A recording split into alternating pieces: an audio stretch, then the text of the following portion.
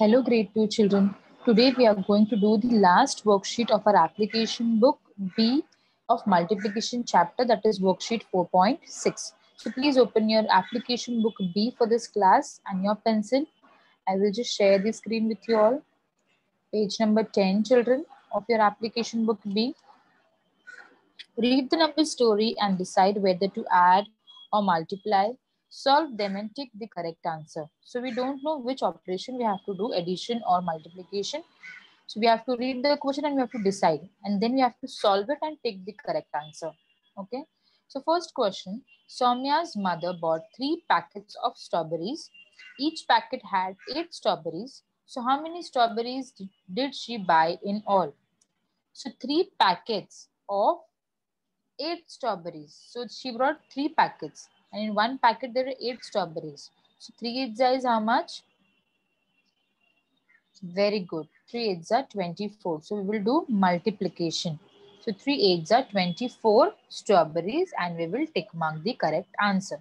So now you can just pause the video and you can write down the answer in your application book children. Now Aruna went to a bakery shop. She bought two packets of cookies there were 8 cookies in one packet and 10 cookies in other packet. How many cookies she bought in all? So there were two packets, children. There are two numbers given, 8 and 10. So can you tell me how will I uh, do it? First, I will do the multiplication of one one packet and then I will add total both the packets. Okay. So first packet she brought one packet, eight cookies. So one eight uh, eight. Then she brought other packet which she has 10 cookies. So 1 into 10, 10. Now I know the number in both the packets. So now I will add 8 plus 10 is equal to 18 cookies. Okay. So first I did the multiplication and then they did the addition. Now a shopkeeper packed six chocolate bars in a box.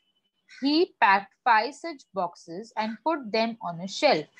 How many chocolate bars did he keep on the shelf? So there were five boxes of six chocolate bars. So what you will do? Five. जो boxes है huge that you will write first. So five into six. That is 30 chocolate bars he kept on the shelf. Okay. So now you can just pause the video and you can write down the answer in your application book, children. A flower shop had six flower pots. There were four sunflowers in each pot. How many sunflowers were there in all? So how many pots were there?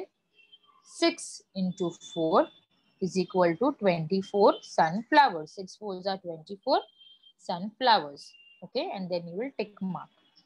There are five apples in a basket. How many apples will be there in seven such baskets?